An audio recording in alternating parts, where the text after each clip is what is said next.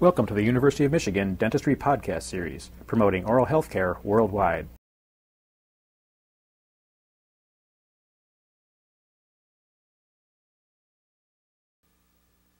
There's one exception to this, wherein I was explaining it to Craig.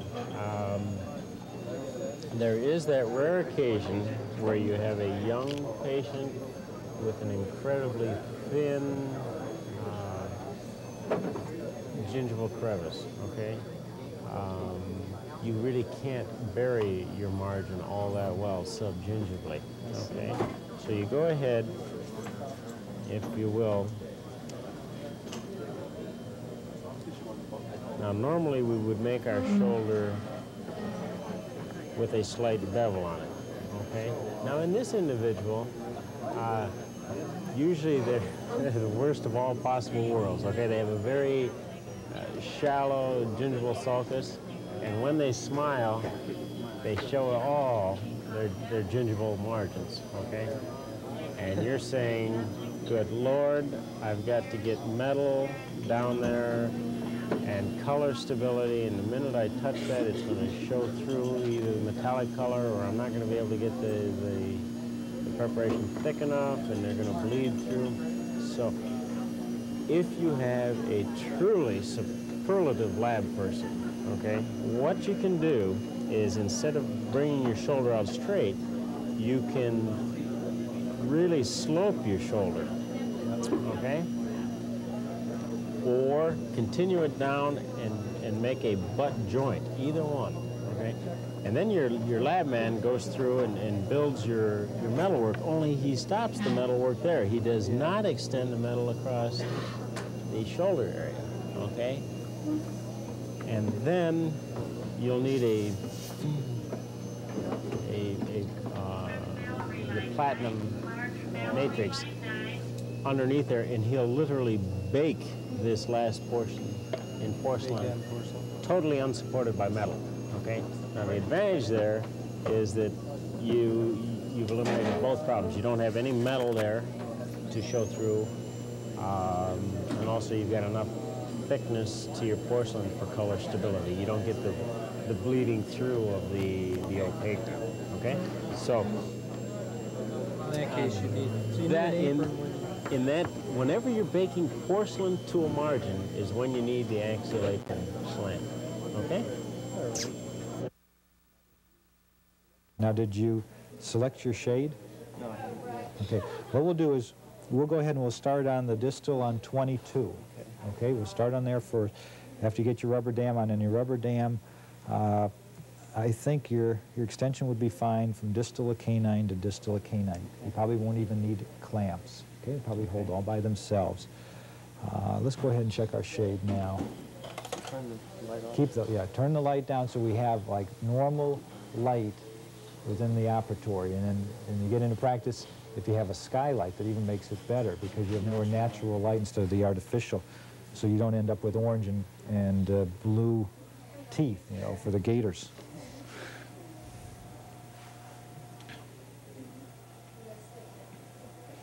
Now, one thing you'll have going for you in terms of a lingual approach is that you still have a veneer of enamel The natural tooth color. uh, in terms of blocking out some of the discoloration.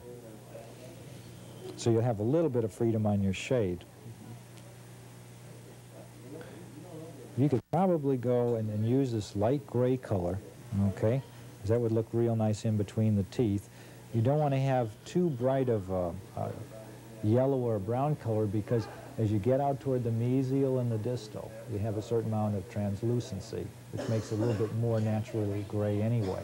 So if you're going to have a very shallow lesion, you're better off to go with a grayer color, especially at the interproximal, because it'll be more natural. If you put something really yellow right at an interproximal area where you normally have a little bit of gray translucency, then it'll stand out and it won't really be aesthetic.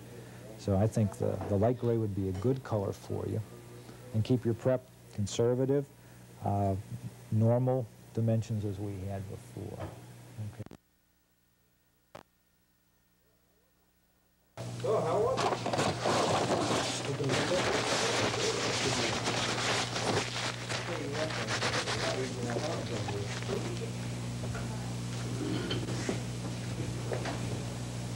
Okay. Should that seat solidly, if that seats solidly on those two teeth, Uh-huh. it's not a tripod, it, what's going to happen to the side that's on the edentulous ridge? Okay. Uh, you tell me, during the impression, do you need any space for impression material? We'd like a millimeter to two millimeter.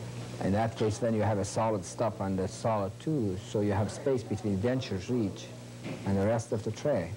So you get the impression of the soft tissue under the minimum pressure. That's the purpose of those stops. I'm uh, having problems getting anesthesia. I've given him uh, carbocaine, Mm-hmm. one injection, and then went to xylocaine. However, in the distal buccal area, he's uh, still having pain. Okay, sometimes you get a coalescence with the cervical plexus. Did you give a long buccal? Uh, no. Give a long buccal. A lot of times that'll knock it out. If it won't, why, we're pretty well done back there. You know, I don't think it's worthwhile uh, injecting again. But give a long buccal. Sometimes there is a little coalescence in that area there, and that'll take care of it. Okay? Good. What do you think about that? Like it's adequate attached ginger. Okay, adequate attached gingiva, but do you think that there's any influence of this causing her teeth to separate? I'm not really sure. Could there be? Yes. The attachment of ginger? There are muscle fibers that go from here all the way through here, all the way back to the scapula. Okay.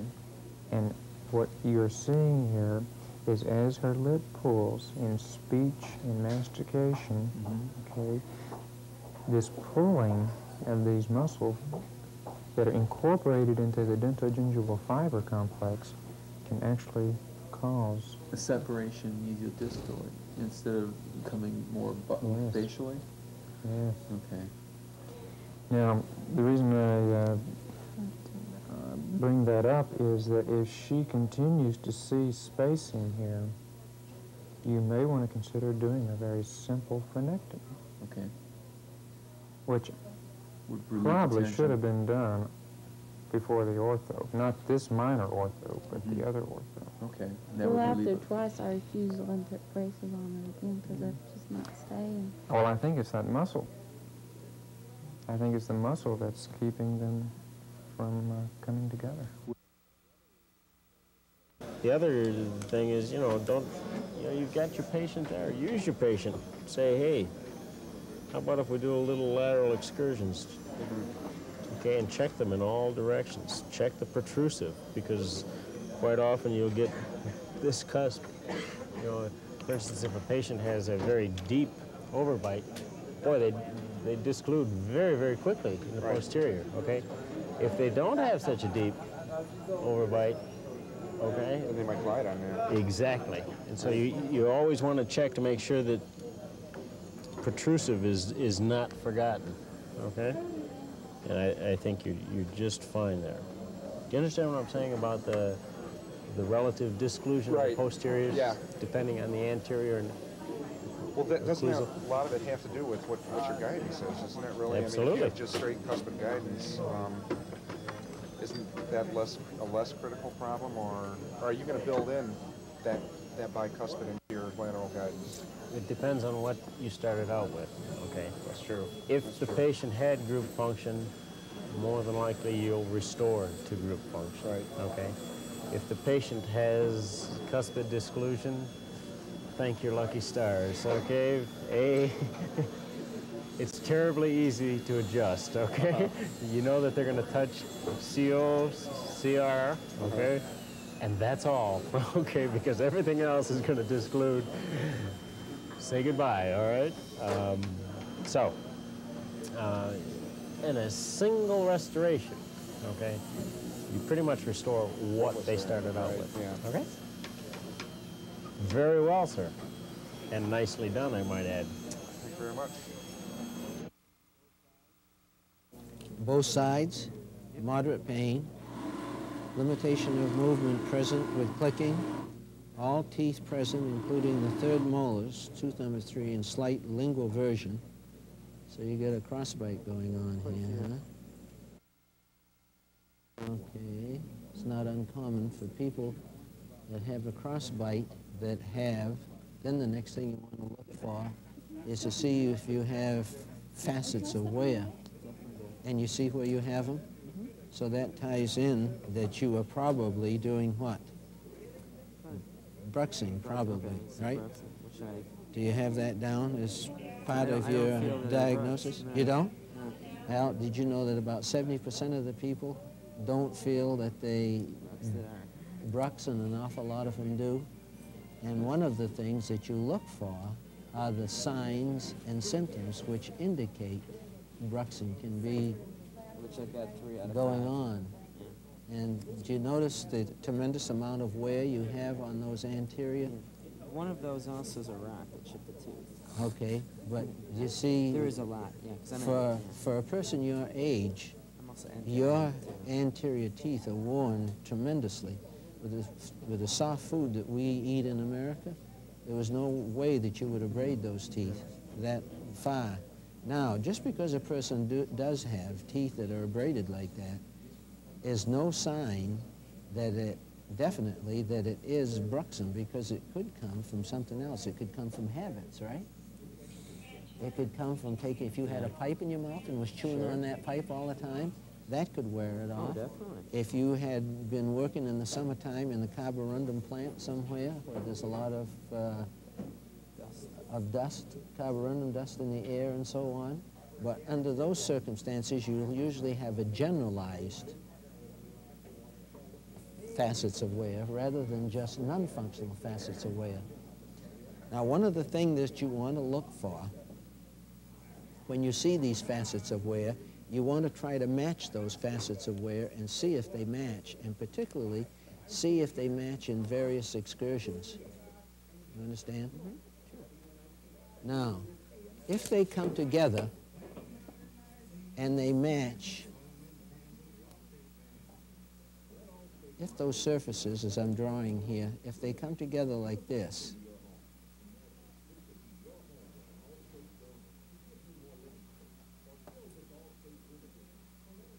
okay?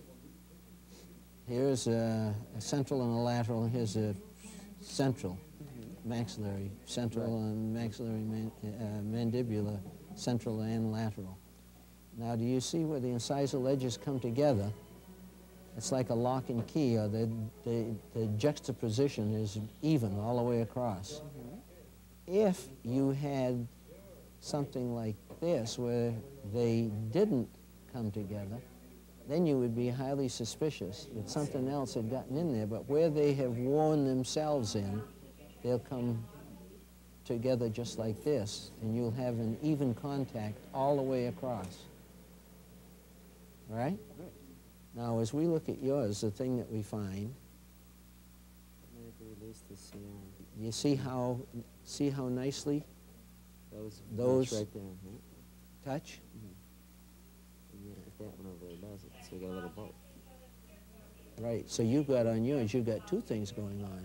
Now, when they did, when your partner did the uh, exam on you, do you have any habits like biting your fingernails? No. Do you chew on pins? Nope. Did you say you had one that was broken off by a rock? Right there. Is that the one? Yep.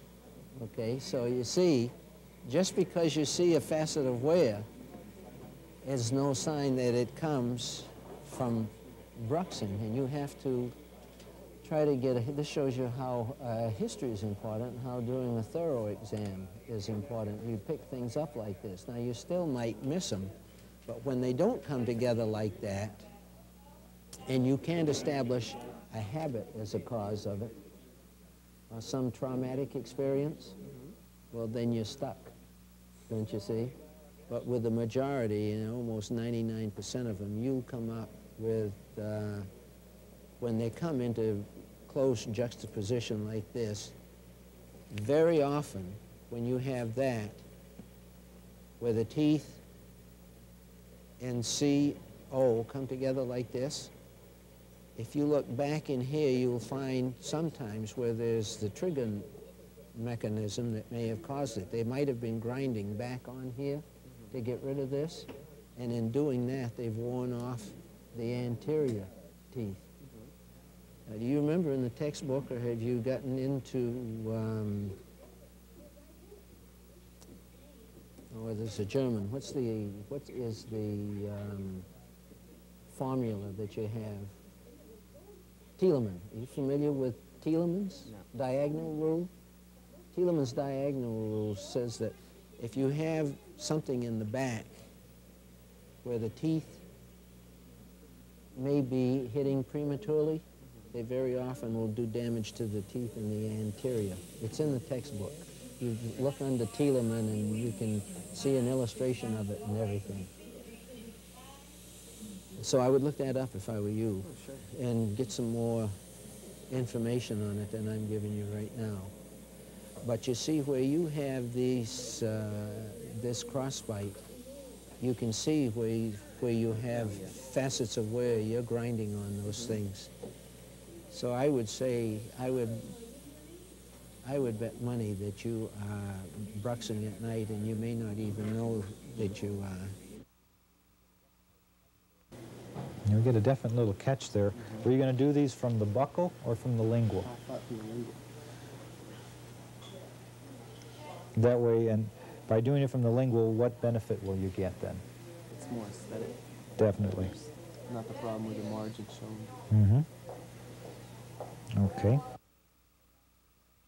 So we- Uh, then we need a bonnet check and then a wax. Correct. Now, Wax gun. please remember how to make the bonnet. You really lubricate your die, and then you only build half of it.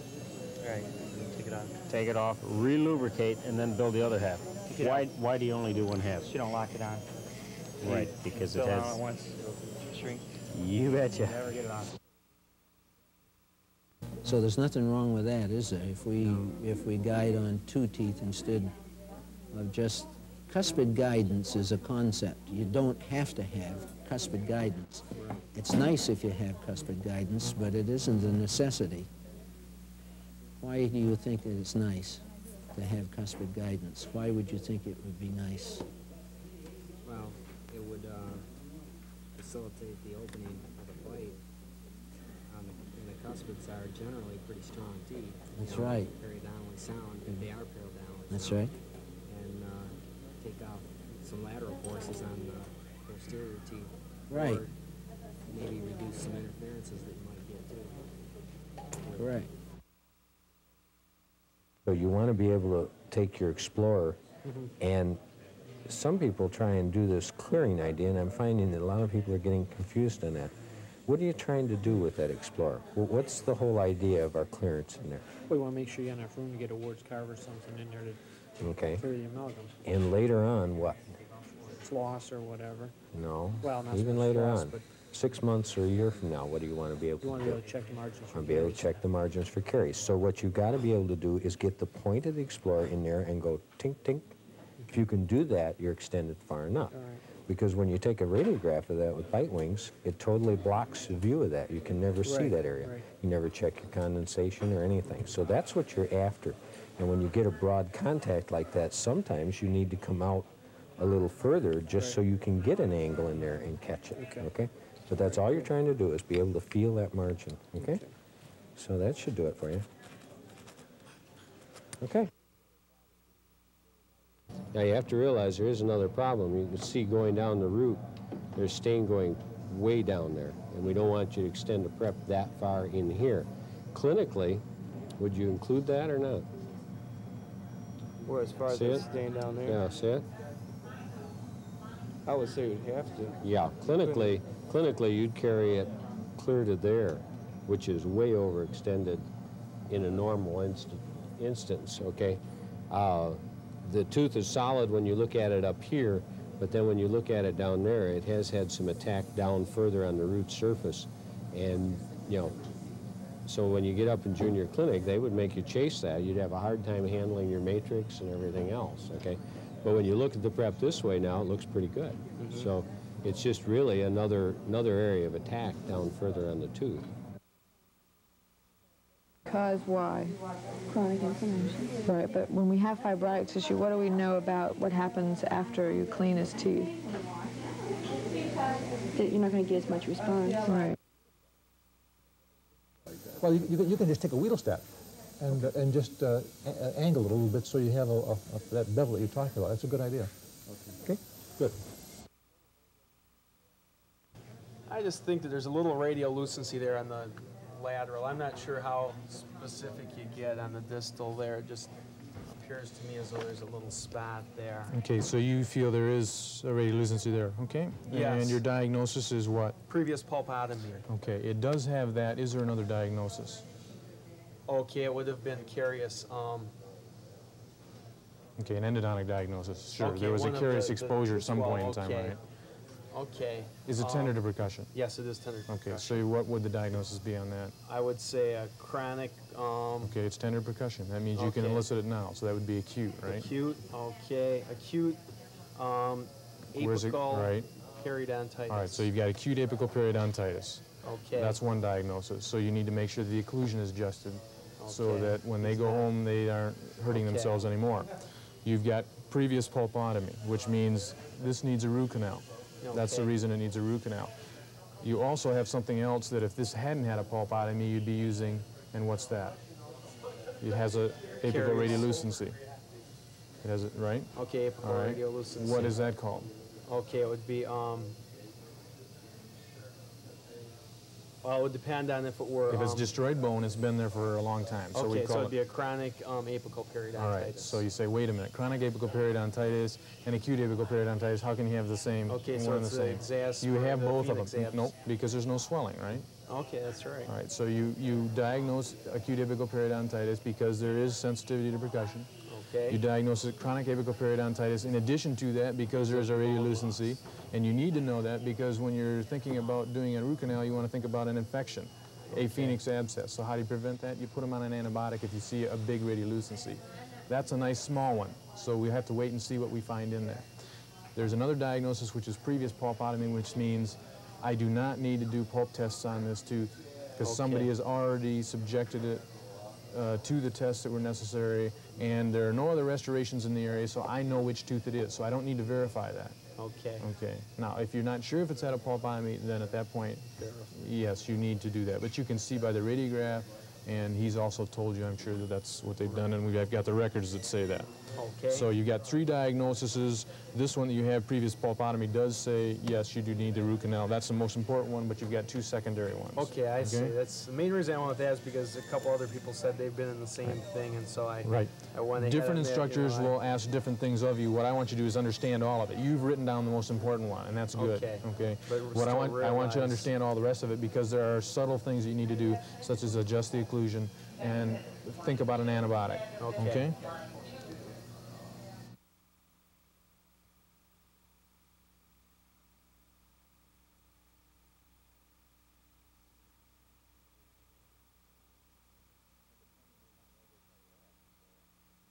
And depending upon what we have left, uh, it might be more than just a, a post sliding in there. We might have to do something about, Yeah, that's what I want to ask you.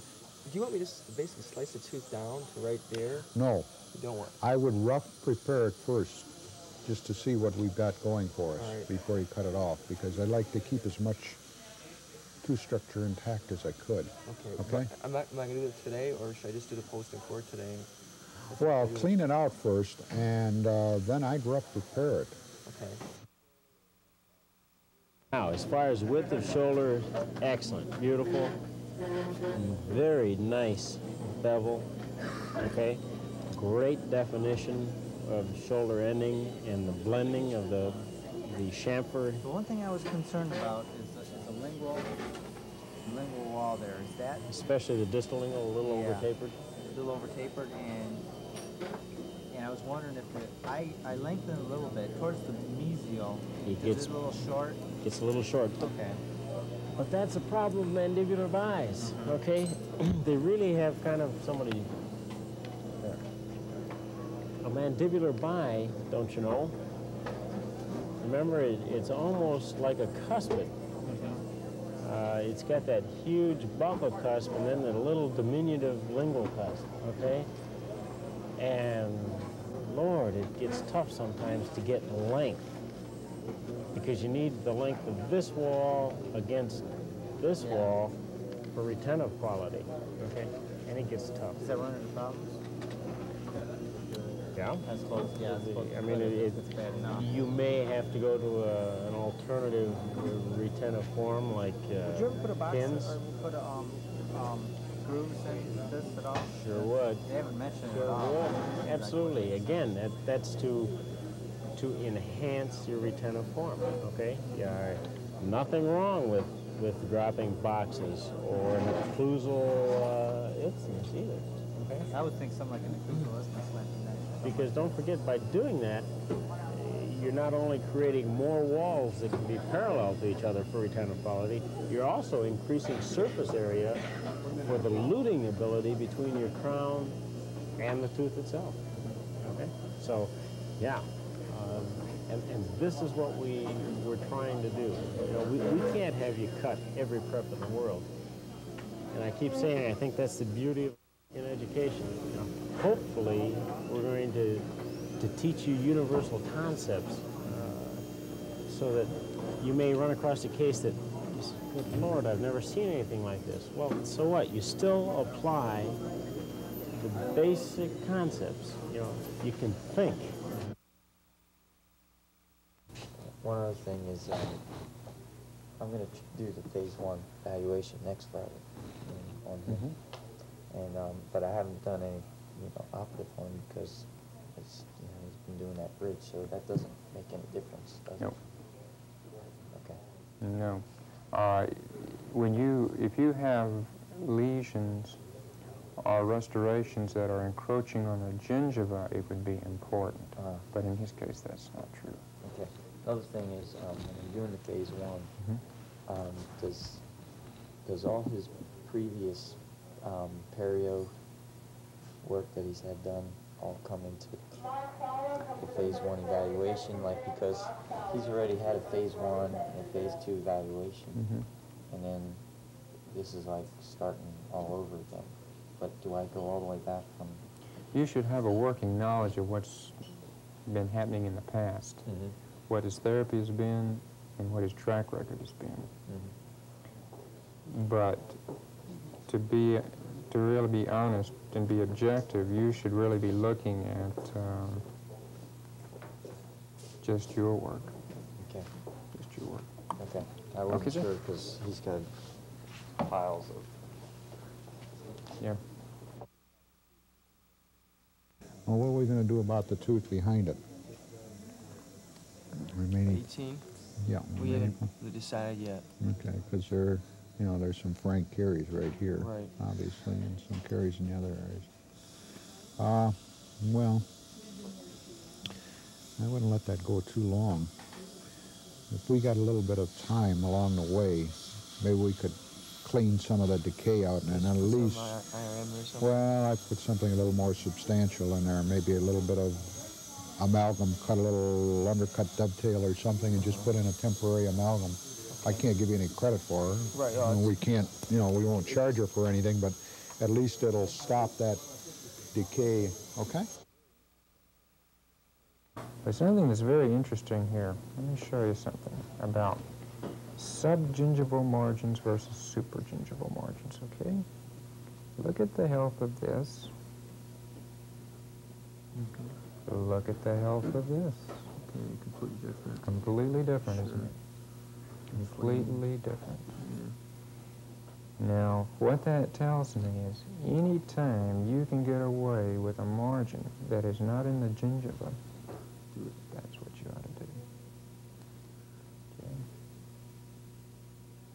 Because look at that. In fact, this part right here is really healthier than that part. No- That's no- nice. see, the further we go back, That would be uncommon, though, would it? I would feel it's probably a little more easier to clean up there than it would on But so you see this margin here is approaching being super gingival. I and see. this one is really tucked in the gingiva. Okay.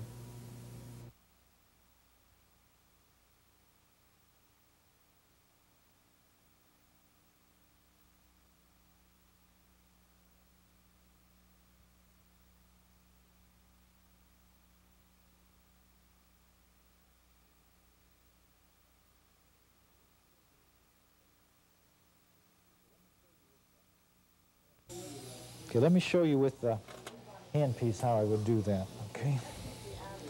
You'd run it dry, because we're not going to cause heat because we're running it so low in RPM, minimum pressure, and we're going to be on, off, on, off, on, off. So you know, we won't have that much. See the angle I've got it at right there?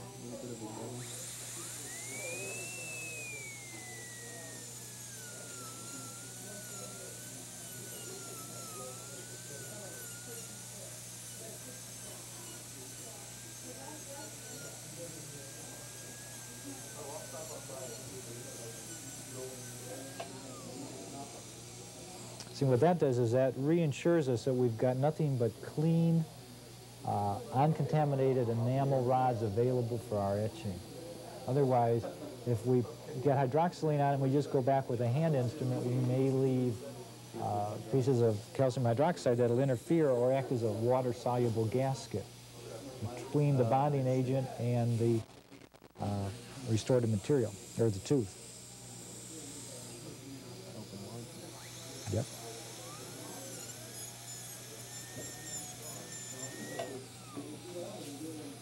You can go ahead and do the same then for 23. Just a little slight bevel all the way around.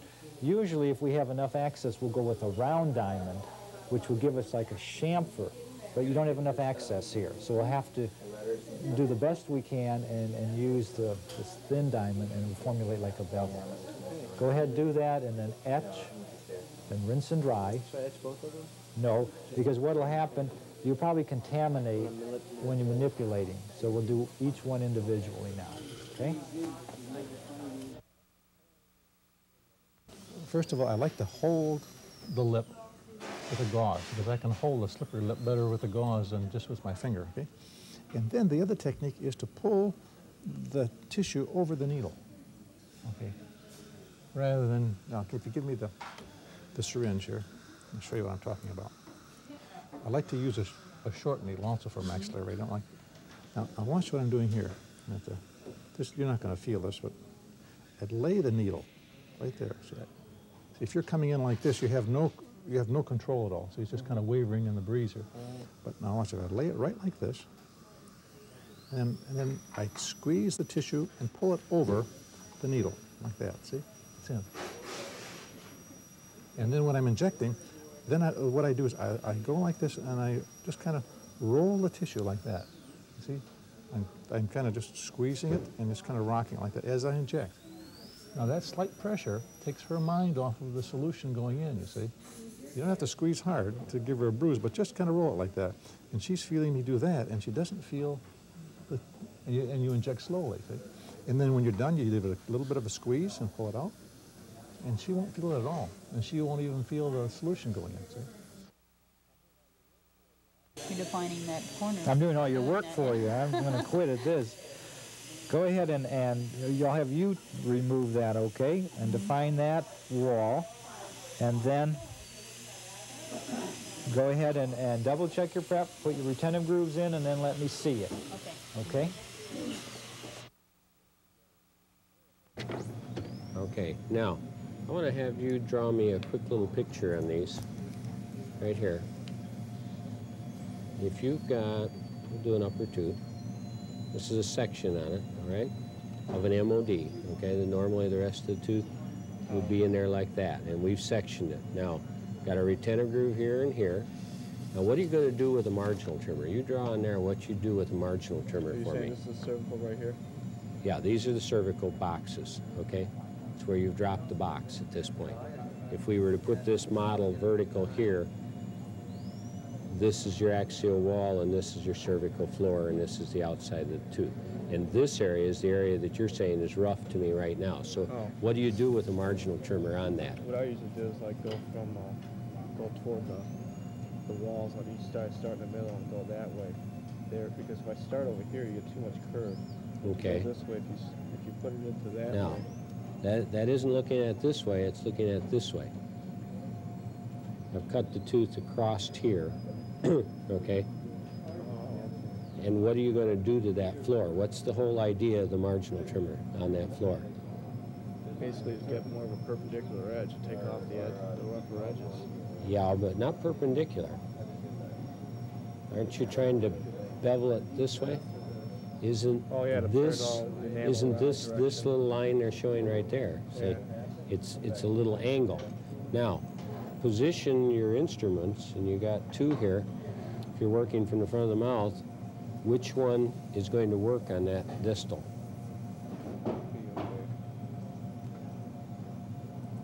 I would say this one right over here. I always, I always looked at it as having a sharper point out toward the Okay. proximal. Now, take the other instrument and put it on there.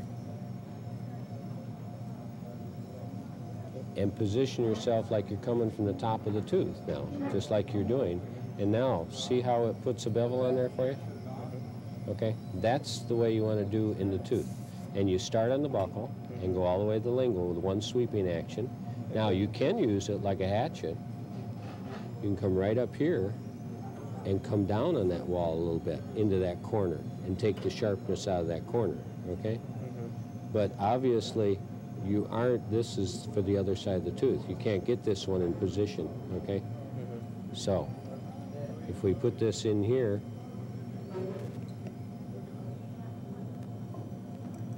so sweep that way, see it? And you can go in on your wall. And then this one would be a sweep up. See it break some of it off too? It actually shattered some there. That really, that kind of a rough spot. See, it's gone now, isn't it? Yeah. Okay? So you need to plane that just a little more with your marginal trimmer. Get your retentive groove, and then we'll take a look at it. Okay? Thank you.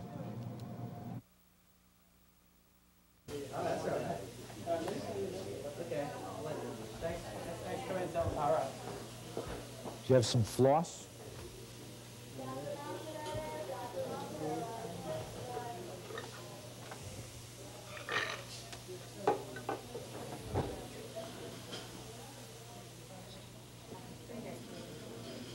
Okay, first, let's just get it, get it stabilized, okay? And now let's put the frame on. It's the next thing we'll do, okay? We can go right to this frame right now. Okay, you stretch this side. Don't put a lot of tension on it because you may pull your clamp, and we don't want to do that. Then we haven't accomplished anything. Now stretch your side.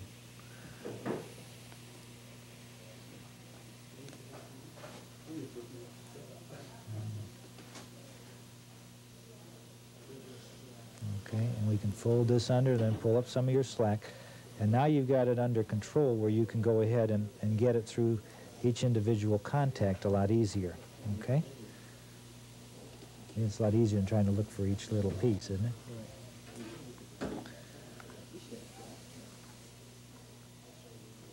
You feel a little bit of pressure here in between these teeth.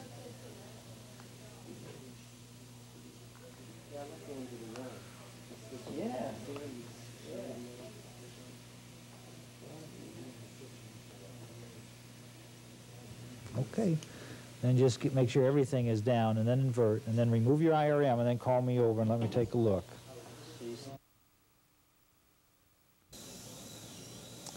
Boy, access is really tough there.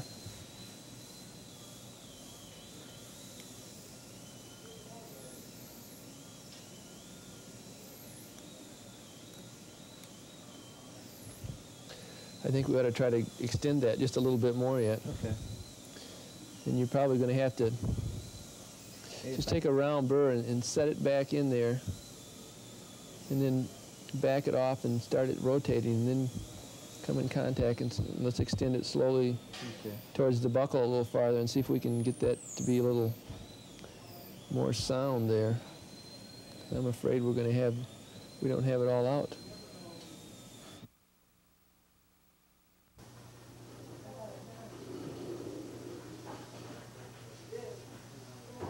What you probably ought to do,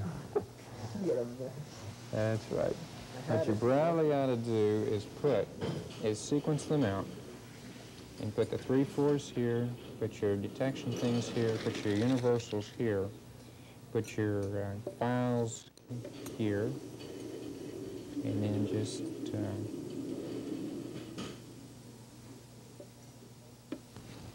there you go. Oh, Some people, some people starting out will actually put the numbers.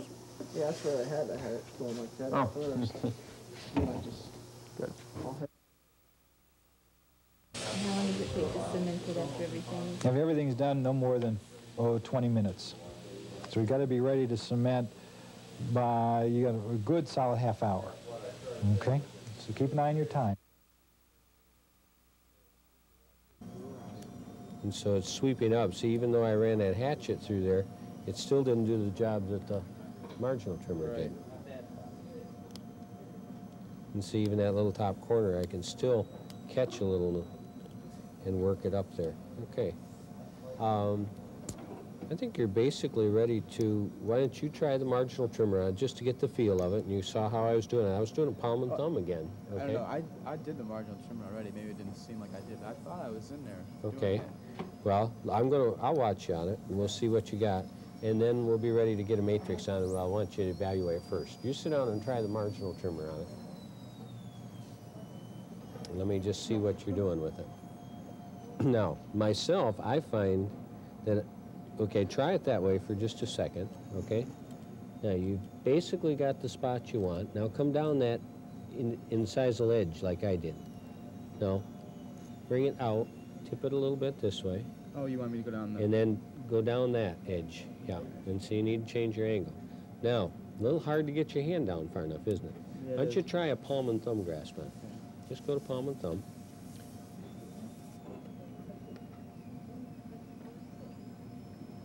Now, that lets you get down lower, doesn't it? Seem to be able to use it, right. Okay? And you can sweep. It's a little awkward because you haven't used it. You should get down where you've got your thumb on the teeth.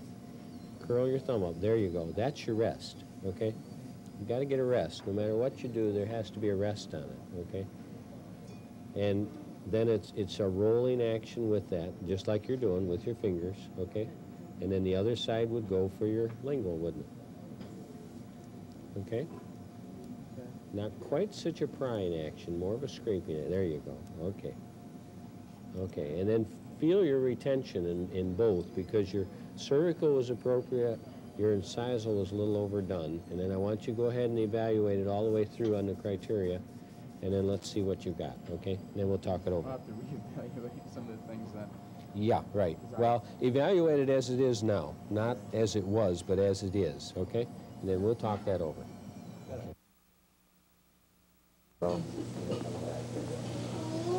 Okay.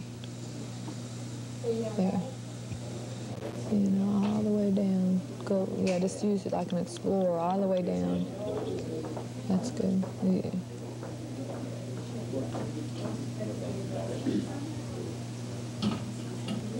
Feel it now? There you go. Now, right, replane that a little bit and then open the blade out a little bit by, okay, it's real close there. See how the facial surface? Uh, do it this way. That's right. And then, there you go. Okay.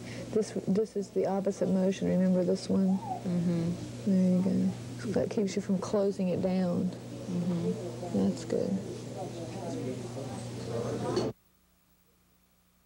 Okay. And I'm exaggerate. the clamp a little bit on some Right. so if I just come in straight kind of and try to lay What- into it a little. Yes, or you, what you might find is helpful too, is if you remember back when we did cohesive gold, we used a uh, 212 clamp. We always used a straight handpiece to prepare that class 5. Oh, yeah. For the reason, yeah. for that reason, because you end up bumping the clamp with a contra angle.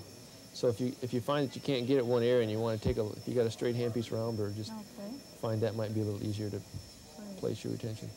Okay, good. We'll give you a CR on that. Or, or four, excuse me. Yeah.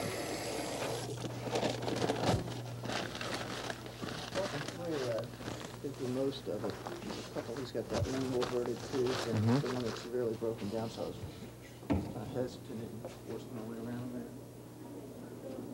Okay. Okay, sir. Just have you turn your head that. Excellent. Okay, there's, you're right, this, you got your work cut out for you because of the, the teeth in their position. Here, it's going to give you some very strange embrasure spaces.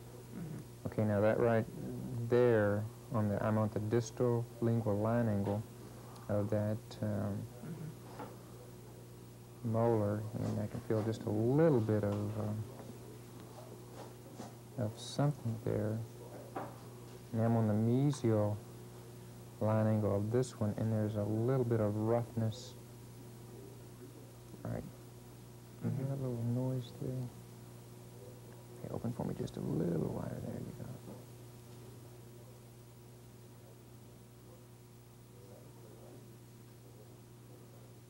Okay. Let me show you something. Let me show you something. here. This is, you something you get a chance because I may have this Oh, okay, in that good. foil kit. Excellent. It may have That's probably what happened to them. Yep, here they are. Over this side of the table. Let me show you a couple things here. All right. Let's see, where, let me get myself back in. Let me show you one, I want to get to one area that is really quite significant. There we go. I want you to take the Explorer and on the mesial lingual of 44, I want you to start out the outside where you can see it and I want you to go up and down very slowly, going inside.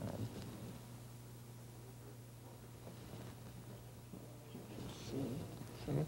Well, okay, now here's what we need to do then. Can you bring your chin down a little bit for me?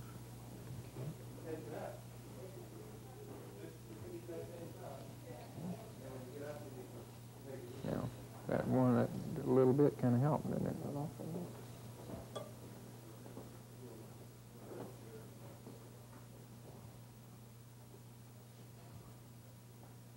It just flares out towards the mesial. Is that what you're mentioning? Mhm. There's a huge piece of subgingival calculus right in there. In fact, it is so large you might think it's part of it too. That's what, it felt like a contour on those. 'cause It goes right into the That's contour. right. So let's take your 11, 12.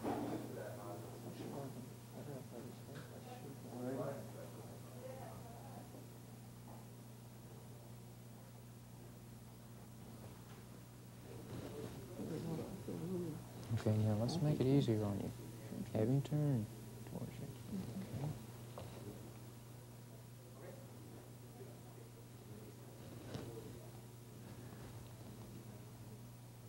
Now, unfortunately, the 1112 is not a very efficient curette in the mandible.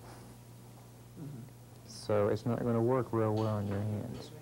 Okay. I had trouble getting in there That's right. and, uh, you know, just feeling it. You know, it's easy to get there, but it doesn't want to move.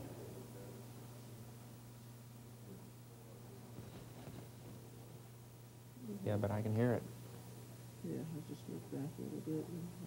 Okay. Now try moving it in, like we were doing before. Try moving it into the contact a little bit more. Then go up under, really try to go up under that piece and pull it out.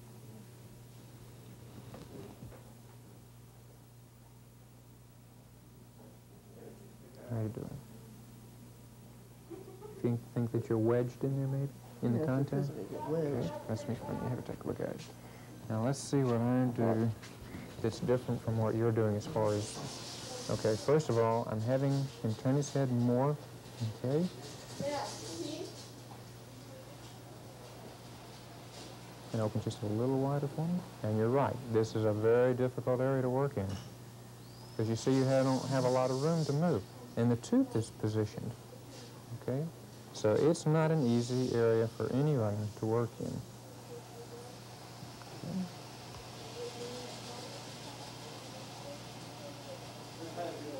So there's one other possibility.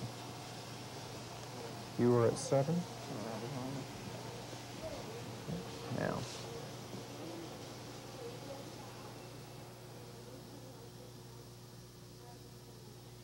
Okay, so let me try that.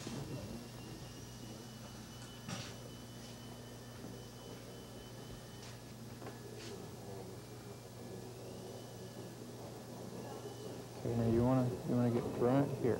There you go. Open just a little wider for me. Excellent. Now, this one- that's a little different.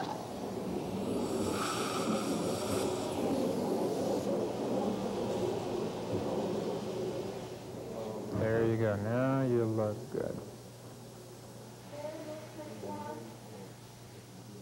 And um, you're able to see what you're trying to do. And I think you've got it.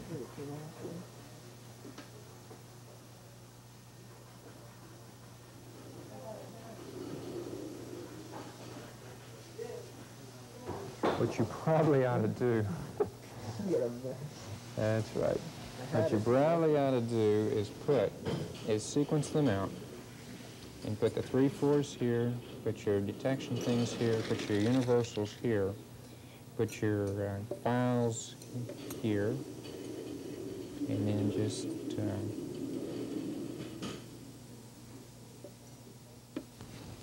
there you go. Oh, Some people, some people starting out will actually put the numbers.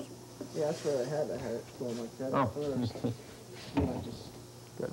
all heck's broken loose since.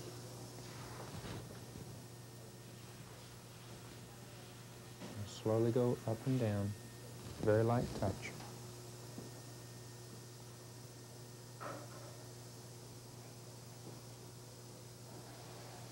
See, push the contact area. Okay. I'm not sure just there's still a little remnant of it or I'm actually hitting the contact. That's excellent. That's excellent. That's the way it's supposed to feel. And you're right, you're hitting the contact. That's the way it's supposed to feel. Um, we have the same situation on the molars. What I would advise, since we have done quadrants one and two now, I would hold. I would stop and come back and let's do three and four next time. Okay? Start and, uh, and just do the entire mandible. You've gotten a fair amount of the gross debridement on this quadrant, uh, but there's still a fair amount. The time that it took you to do that one is going to take you at least that amount of time on those molars back here. And I'm sure the rest of it looks something like that too. All right. Would you want a quick demonstration on those files? Okay, mentioned? yes. In fact, that area that we were working in is, in, is an excellent place. The files come in several uh, different kinds of angulations, and you can almost use your ingenuity here. For instance, where we were working before, well, let me show you, let me show you first of all how they go into the sulcus. Okay. And they're composed of, like your curette has one blade, these have three. Mhm. And so what you? Only on a full stroke. That's right. They're excellent for the straight buccal and lingual. Mhm. See because how they can go in the side? They're also excellent for inaccessible areas. So here, open a little wider for me. See what I'd be doing? That. And there is an instrument for sharpening them that should be in your kit. It's a very small triangular instrument for sharpening. like a file almost? That's a right. Small file? Know And here's what you do with them. Now the others, this is the one that I use most of the time because it's a contrangle. There, this one can be used, for instance, like this. Uh, that seems like that'd be a lot easier than the curettes almost. Especially on the straight buccal and I mean, lingual. right where you were, Yes. right there. Okay, let's do that. Okay, So that's uh, one and two are complete, three is incomplete, and uh, we'll finish them up next time. Okay? Sign the progress.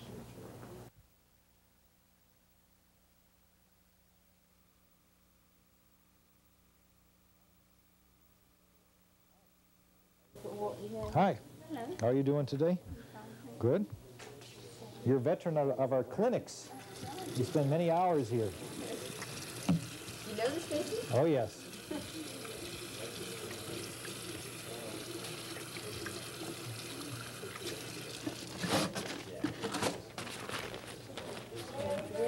You got a check for me, too? Not today.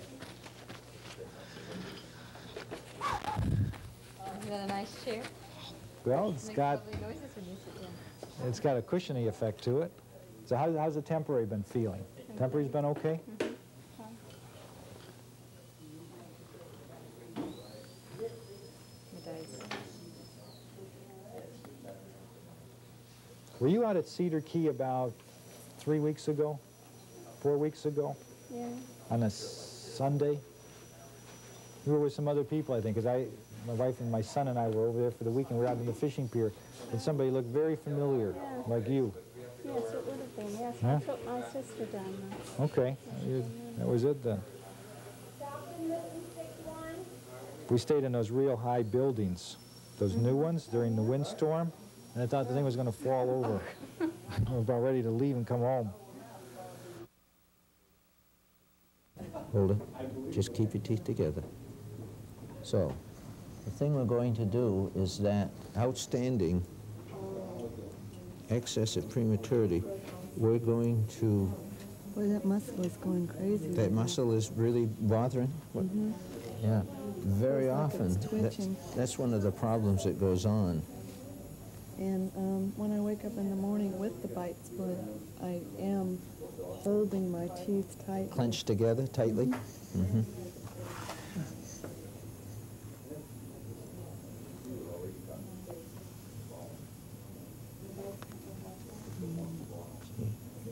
just hold for just a minute, please.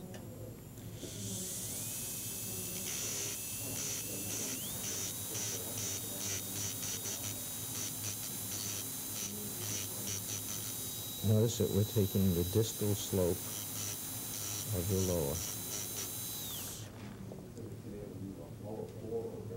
And we're going to take this mesoslope. slope. You can see, because of the shiny facet on there, that she's really been grinding on that thing. She's smoothed that muscle, that she smoothed that enamel surface right off and made it shiny. Now let's just close again. Do you notice any difference? Mm-hmm.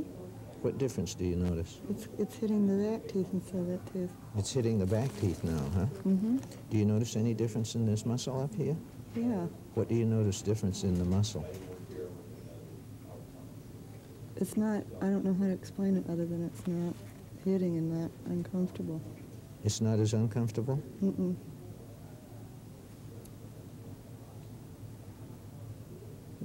What do you think about that, Dr. Kim? Very quick response. huh? Do you think that's a placebo effect? Uh, I'm not sure. Do you think it's a placebo? No, not necessarily. And Because I've seen this happen so many times before. Now just close your teeth together again. What do you notice now? Well, they seem like they fit a little bit better. The muscle is still tight right there, though, from opening and Right. We, that muscle that's been that way and that you've had for so long, uh, just doing this isn't going to relieve it completely, but very often the patients will notice a difference. I do. But I wanted an unsolicited statement from you on the effect that it did feel. It does feel better. Mm-hmm. You see, you're not wearing this all day. You're going all day long with these teeth striking. You understand? She's just wearing this at night. What sort of work do you like do? it hits too, though. I don't know. Okay. Um, bookkeeping, adding machine, a, a desk job. Mm -hmm. Do you find it stressful work at all, or is or Um, what? no. You don't? Mm-mm. Boring? You find it boring? You do? Mm-hmm. But I thought was that maybe when they did the Tokyo Ribbon, they just did it out of occlusion. And forced them to have an anterior bite, so, I mean, those would eventually bite, wear down. Oh, you mean when they put the bridges in, they put them in shy of occlusion, and the anteriors wore down to that level? Self-adjusting dentition.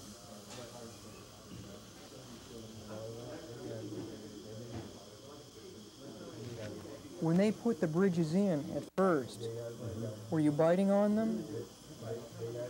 I don't know. Uh, when put uh, my bridges what? what Okay. happened? It was When you had the bridges put in, when they first made them for you, were they touching upper teeth against bottom teeth? some, yeah, some Somewhere. examination, but I don't. No. Okay. Where were you doing most of your chewing? In the back or in the front? I would say the most I chewing in my front. You might have something there. You might have something there.